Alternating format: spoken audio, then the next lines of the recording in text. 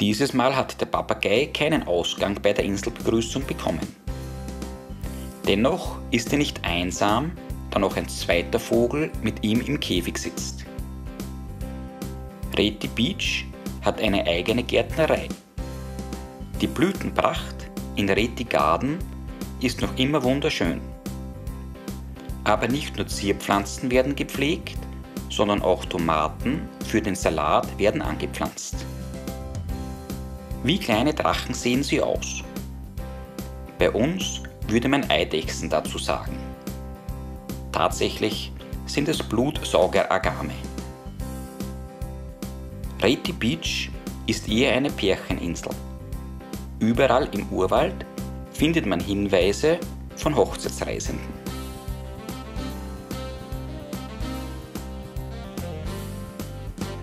Die Uhren auf Reti Beach schlagen anders. Eine Stunde vor Malezeit beginnt der Tag auf Reti Beach. Somit werden die Sonnenstunden optimal ausgenutzt.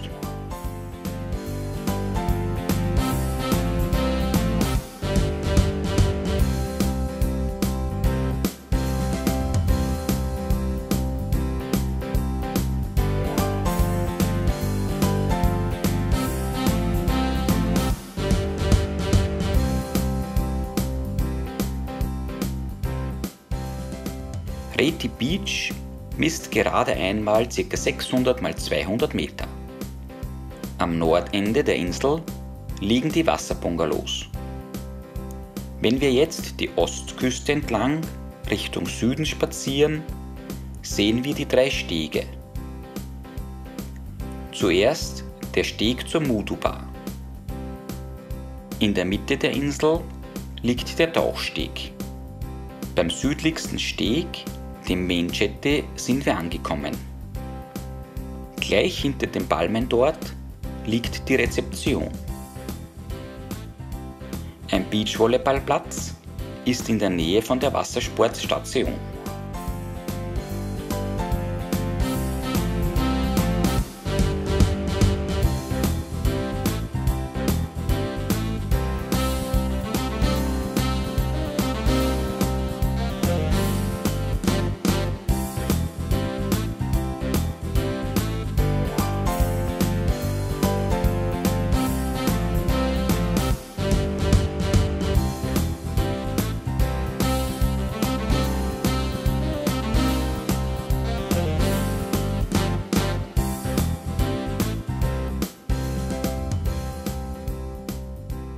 Viele Wege führen nach Rom oder wo man sonst hin will. Wegweiser zeigen einem den Weg zu den Bungalows. Ob das immer der kürzeste Weg ist, kann man nicht wirklich sagen.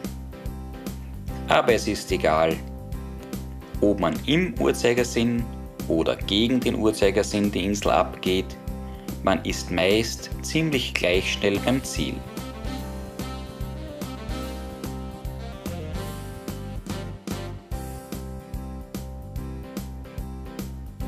Der Spa-Bereich ist relativ teuer. Daher verzichten wir auf eine Massage. Wir kommen aber auf unserem Weg zur Basis oder zum Abendessen immer daran vorbei.